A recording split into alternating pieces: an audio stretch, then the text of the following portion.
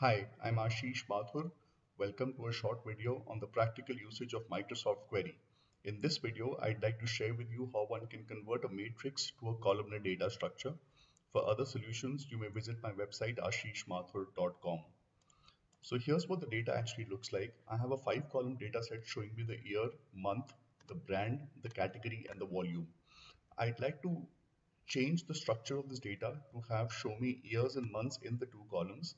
The brand should appear column wise and in the matrix like data structure that so emanates, I'd like to show the volume numbers over here.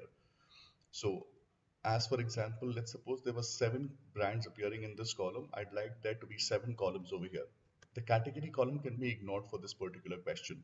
So I'd like to solve this problem by using Microsoft Query. Microsoft Query is a small application which is a part of Microsoft Excel itself. Now the way to activate that and write um, the query would be something like this. I first, for, first and foremost assign a name to this range. So I go to formulas, I go to name manager, click on new, A1 to E30, that's the range. Let's give it a name called dummy. Click on close and let's convert this into a table to ensure that if I were to add further rows of data then my result should automatically keep updating. Click on OK there.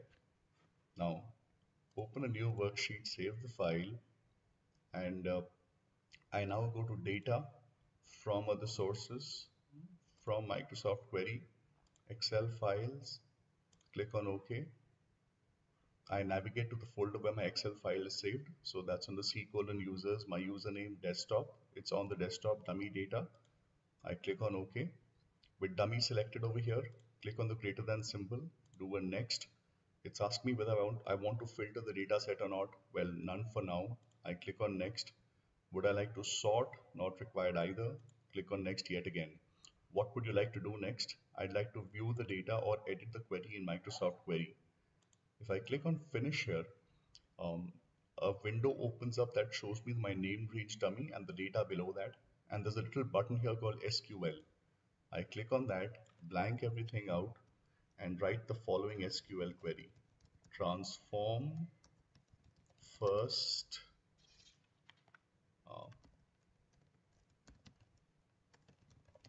volume select year comma month comma category from dummy group by would be the same as what I've done in the select statement above and I want to pivot by brand so if I click on OK SQL query, cannot be represented graphically continue anyway um, does not recognize category as a valid field name. So there's a spelling mistake over there. I click back there and I go change it to C-A-T-E and carry out the same the same change here as well. Click on OK.